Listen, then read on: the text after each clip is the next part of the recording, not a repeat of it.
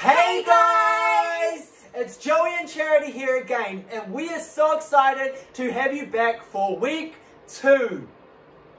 We have seen all your messages and all your photos coming in, and we absolutely love hearing from you. We hope you've had a great week. How's it been? Make sure that you send us your messages of what you've been up to. Maybe you could type it in the comments and subscribe to our YouTube channel. Woo! Now we're going to praise Jesus. So why don't we stand Stand to our feet? Let's, let's learn the actions. So this week our song is called My Best Friend's the Creator of the Universe. And in the chorus it goes like this. My best friend's the creator of the universe. Then get out your crazy guitar. Do-do-do-do, do-do-do-do. And keep going. Get that good air guitar going. Maybe you could get a leg up in the air. Do you ever wonder,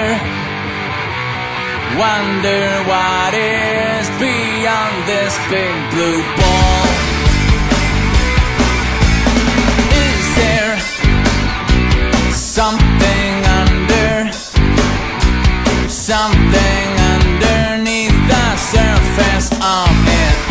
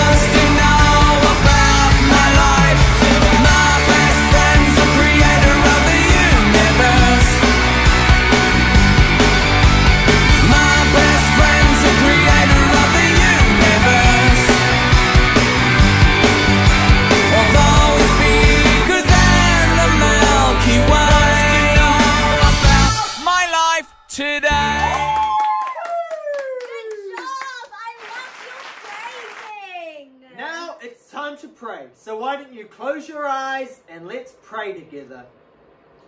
Dear Jesus, Dear Jesus, we love you. we love you. Thank you Thank you. for blessing me for blessing me with my friends, with my friends, with my family, with my family, and with online church. and with online church. In Jesus' name. In. Jesus' name, Amen. amen. Do you remember what we learned in week one? Hmm. He created the light in the sky, but I was his guy. I hope you remember that. We were so excited to learn that with you. Well, now's the time where we're going to learn even more. So make sure you get your Bible to ready to learn for week two. God said, Hello, light, and light shone into the darkness. God called the light day and the darkness night. You are good, God said. And they were. Then God said, Hello, sea, hello, sky. And a great space opened up wide and deep and high. You are good, God said, and they were. On day two, God created the sky and the sea and everything in between. He did this to separate the heavens from the earth.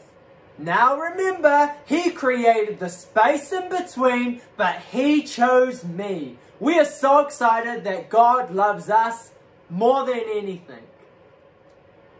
Now I want you to pay attention, open your eyes, and watch a video all about creation. In the beginning, there was absolutely nothing to see. No earth, no stars, no animals, no light. There was only God.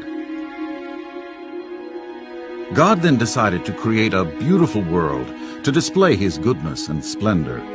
He just spoke the words, and it came to be. Vast craggy mountains, soaring beautiful trees, crystal lakes and winding rivers, animals of every variety. He placed a massive sun in the sky, warming the earth during the day, and a moon to lighten the night. It was a breathtakingly beautiful creation. But God was getting ready for his greatest act yet, making man. He planned to make man special, not like the animals, but more in the image of God himself. So he took a bit of clay from the earth and formed man and breathed life into him. There was man, created in the image of God, and God called him Adam. God made Adam like himself, with a mind, with creativity, with wonder, with emotions, and he made him to be happy. Adam learned about all the animals. He played with them and gave them each names. But something was missing from Adam's life. You would think he had it all, but he was missing a human friend, a wife. God made a woman, too. He put Adam to sleep, carefully took one of Adam's ribs, and formed a woman. Now there were two. They were made for each other, to love each other, to keep each other company, and to enjoy this beautiful world and worship God. Life in the garden was beautiful and blissful. It was, quite truly, paradise. Adam and Eve had no worries. God had created them. He took care of them. The animals were peaceful and kind. Adam and Eve had all the food they wanted. They saw beauty wherever they turned. They only had one rule to obey. Don't eat from the tree that stood in the middle of the Garden of Eden. That was God's only request. On the sixth day of creation, God looked at everything he had made and said it was good. On the seventh day of creation, God rested from all his work. Creation was beautiful, and man was in perfect harmony with God.